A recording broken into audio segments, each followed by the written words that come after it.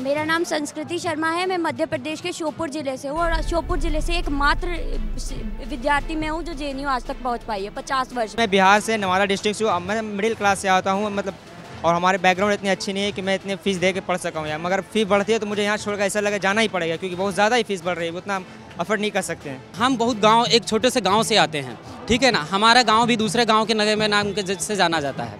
तो जहाँ से आके हैं पढ़ के जॉब किया फिर पढ़े फिर गैप हुआ फिर जॉब किया पढ़े। तो इस तरीके से जैसे हम पढ़ रहे हैं हमारे पास इतना अधिक पैसा नहीं है कि हम इतना फ़ीस दे पाए। मेरे पिताजी किसान हैं और माताजी घर गृहस्थी चलाते हैं और उनके लिए ये फ़ीस मतलब अब तक हमें एमसीएम मिलती थी और हम लोग चला लेते थे उनसे लेने की हमें ज़रूरत नहीं होती थी।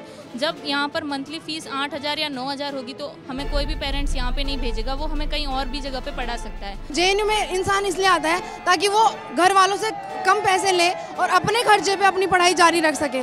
इस एज में आकर हम एक बर्डन नहीं बनना चाहते, अपनी फैमिली को सपोर्ट करना चाहते हैं, और अगर हॉस्टल हॉस्टल में रहना इतना महँगा हो जाएगा तो ना घर वाले सपोर्ट करेंगे हमें, ना खुद हम अपना खर्चा उठा पाएँगे। और दूसरा सबसे इम्पोर्टेंट बात यह है कि यहाँ पर मेरे ही ऐसे बहुत सारे साथी हैं, जो ऐसे वर्ग हैं, जो इतनी फ़ीस भी नहीं चुका सकते, वो चुका ही नहीं सकते तो उनकी डिग्री कंप्लीट करना भी मुश्किल हो जाएगा। हम अपने दम पे पढ़ाई कर रहे हैं, हम घर से पैसे नहीं ले रहे हैं, कोई बच्चे ट्यूशन पढ़ा के पढ़ाई कर रहे हैं, कोई कुछ कहीं से कोई छोटी छोटी जॉब कर रहे हैं। आपने पहली बात तो इतना मैसिव सीट कट कर दिया। 90 परसेंट सीट कट हुआ है 80 परसेंट लाइब्रेरी फंड कट हुआ है।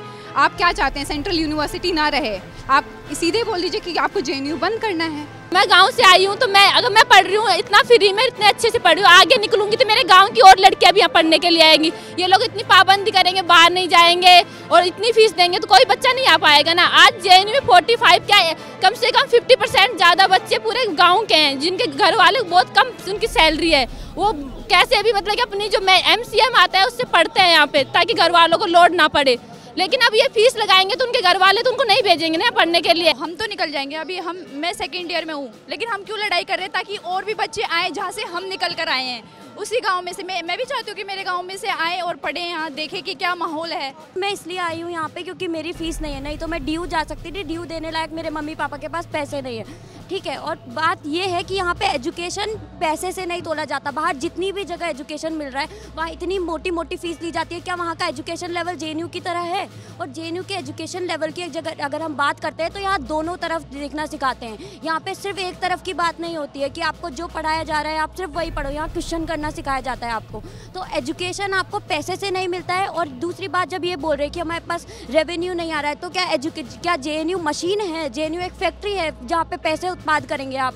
पैसे के लिए नहीं बनाया जे तो मैं इसलिए विरोध कर रही हूँ यहाँ पे आके कि जे में मैं बिल्कुल पैसे, ये फ़ीस हाई का बिल्कुल सख्त विरोध करती हूँ क्योंकि मैं दे ही नहीं पाऊँगी। यहाँ पे जो अभी आई एच मैनुअल ड्राफ्ट जो पास हुआ है, एक तो इलीगल पास कराया गया है, जिसका पूरा प्रपोजल होता है, जिस तरीके एक सिस्टम होता है कि पूरा कोरम होता है कोरम में स्टूडेंट रिप्रेजेंटेटिव बुलाया जाता है एंड स्टूडेंट बॉडी बुलाई जाती हैं। अदर उनके बिना पास कर लिया गया है। दस मिनट में आई एच मैनुअल पास कर लिया गया है। उसमें फ़ीस हाई की इतना गुना बढ़ाया गया है कि कोई भी स्टूडेंट अफोर्डेबल नहीं है। तो न्यू हॉस्टल मैनुअल तैयार किया है। उसमें हर चीज़ में बिजली का, पानी का, हॉस्टल का, सबका फ़ीस बढ़ा, फ़ीस लगा दिया। पहले ऐसा कुछ तरी वो नहीं था, सिर्फ़ मैथ्स बिल आता था दो हज़ार, उसकी भी जो बच्चे होते थे बैकवर्ड के, उन्हें दो हज़ार रुपये की स्कॉलरशिप मिलती थी। अब इन्होंने क्या किया है कि नए जो मैनुअल आया उसमें सबका फ़ीस बढ़ा दिया, जिससे उनको छः हज़ार रुपये पे करने होंगे, जबकि दो हज़ार ही उनका एम सी एम आता है। तो वो चार हज़ार कहाँ से देंगे? तीन महीने हो गए मुझे यहाँ आए हुए। एक बार भी मेंटल प्रेशर नहीं आया है कि मेरे को पैसे मंगाने अपने घर से कि तीन यहाँ पे आठ हज़ार रुपये देने लेकिन आज से मैं ये सोचने लगी हूँ जब से इनने फ़ीस आई की बात की कि मैं अपने मम्मी पापा को क्या बोलूँगी? वो कहाँ से पैसे देंगे यहाँ पे मेरे लिए दस हज़ार रुपये हमारी मीडिया और दूसरी चीज़, हमारे लोग हमारी बातें क्यों नहीं सुन रहे हैं? उनको क्यों लगता है कि जे के बच्चे सिर्फ़ ऐसे ही प्रोटेस्ट करने निकलते हैं? या फिर उनका शौकिया ये काम है? हम पढ़ाई करने आए हैं, हम प्रॉपर इंट्रेंस एग्ज़ाम देकर आए हैं। हमारे साथ ऐसा क्यों हो रहा है? मैं, ये मेरा चौथा साल है इस यूनिवर्सिटी में एंड मैं नहीं देख सकती अपनी यूनिवर्सिटी को ऐसे। हम इतने दिन से ट्राई कर रहे थे जेएनयू के भीतर कि हमारी प्रशासन बात सुने, हमारा डेलीगेशन जाए, कम से कम रिप्रेजेंटेशन ले।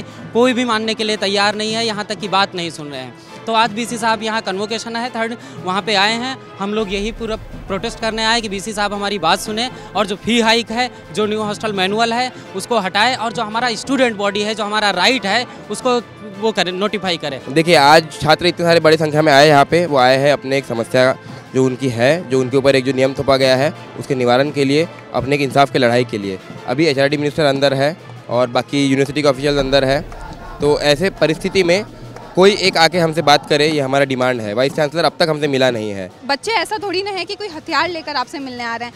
आपसे अगर बच्चे दिन रात प्रोटेस्ट कर रहे हैं आपके घर के सामने, आपके एडमिनिस्ट्रेशन बिल्डिंग के सामने, यहाँ तक कि कॉन्वोकेशन जहाँ पे हो रहा है, वहाँ पे भी बच्चे आ गए हैं तो आपको मिलने में क्या दिक्कत है, हम ये जानना चाहते हैं। और ये आज पहली बार नहीं है। ऐसा चार सालों से लगातार चलता आ रहा है। या फिर मैं जब से कहूँ, जब से ये वीसी बने हैं, तब से जेएनयू की बर्बादी हर रोज़ हर रोज़ नए पन्ने पे लिखी जा रही है।